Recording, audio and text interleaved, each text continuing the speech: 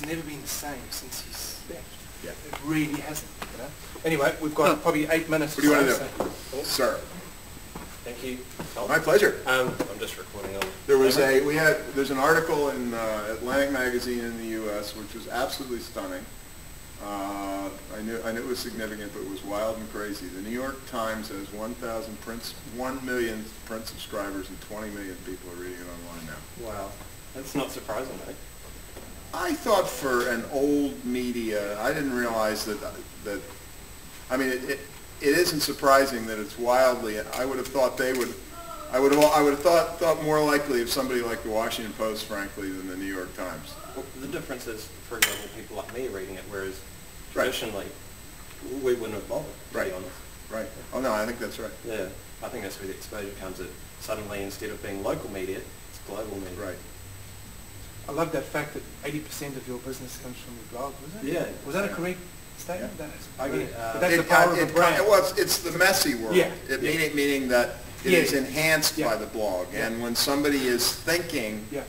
of inviting me somewhere, Yeah. and the, the fun stuff, which of course, you know, you know better than I, which was absolutely fabulous. I was giving a speech to uh, all the senior agents, general agents at Aetna, which is about a $40 billion business, for God's sakes. And I'm standing behind the stage getting ready to go out and talking to the, to the CEO. And, you know, I, I know who does read the blog, but obviously I Yeah. really have no idea who reads it. I don't think of Yeah. people like that. And we're just standing there and he said, God, I love your farm. I said, what do you mean you love my farm? and I, you know, I put pictures up there with some degree of regularity, but I, it's, um, I just absolutely live and die for that blog. I love It's it. so much fun. I, I, would It get 80% of my business to Yeah. my blog. Yeah. Basically, what I try and do is commit every day 15 to 20 minutes. Yeah. Put out a post, make sure it's, I think there's two, two sides. You can go as a reporter, where you just regurgitate other stuff, Right. and then put you know, 20%, or you can be an expert and create new ideas and put those out. Right. So that's what I kind of lean towards, which I get the feeling you're trying to do with yours. Yeah, well, no, I, I think, I think, uh, I mean, I completely agree with you. I, but I also think that just mixing it up, pace, style, time. I mean, the one thing I do, which is, which you're not supposed to do, and I know that you're not supposed to do when I do it, but I don't care. When I, when I get in the mood, I write an essay that's 1,500 words and Yeah. screw it. Why not? And, Yeah. and you, and I, and I know what's going to happen. You don't get many comments. Yeah. Because you've kind of, I mean, the, the thing that people love, and, I, and I'm not willing to go, I'm not willing to be a whore. Yeah. Because I know that if you make a two-line comment like, uh, you know, anybody who eats a Krispy Kreme donut's the biggest asshole in the world, you have. Yeah. The one problem that I have found, which is the, the scariest is the wrong word. But, no, it isn't.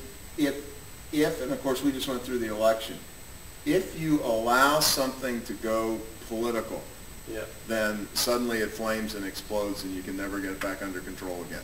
Because, you know, I had some pretty strong political views and I was a very strong Obama supporter. Yeah. Uh, but for whatever reasons, you know, I mean, you, you do it and you ju- just, it's war, it's warfare between the uh, 20 noisy members of your community Yeah. and, and you, you, you lose your own blog. And so, you know, I, I, which I'm, under some circumstances, I can imagine I would have, would have done it, but, Yeah.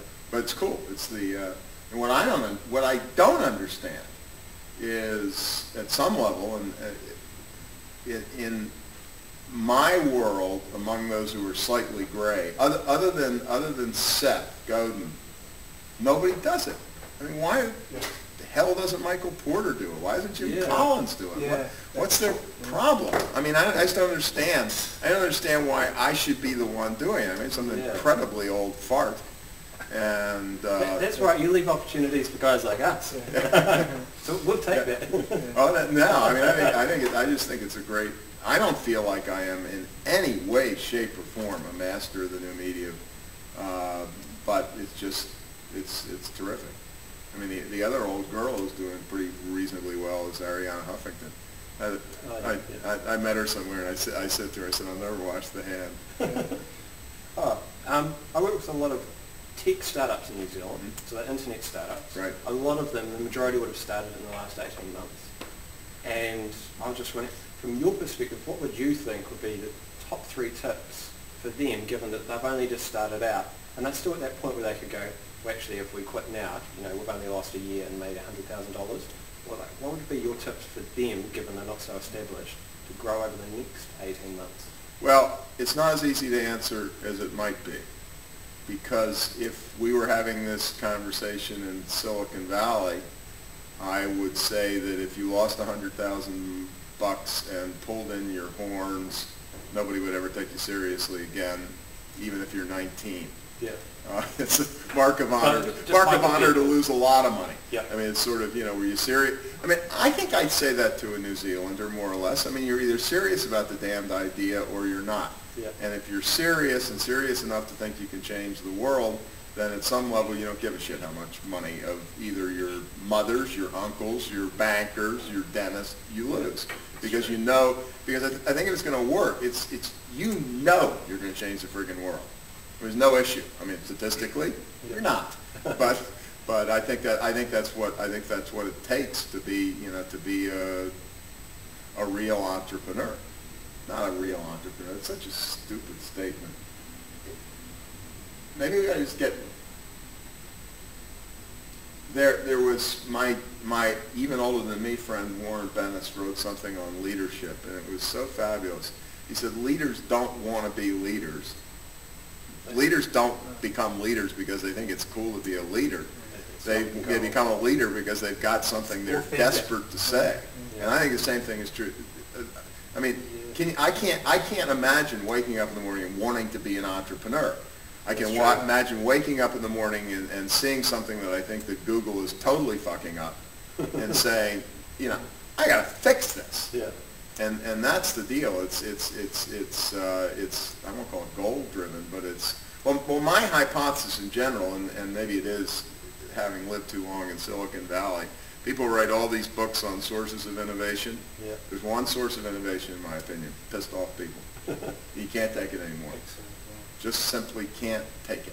Yeah, so they're motivated enough to just go, no, Yeah, well, and, and, and my, my reason for set, my hypothesis is that when you look a little deeper, that's a logical statement, because anybody's gonna be an entrepreneur is gonna take constant shit. And if your passion is not greater than the power of the, of the, uh, you know, the returning wave, then you're not gonna get over it. Great.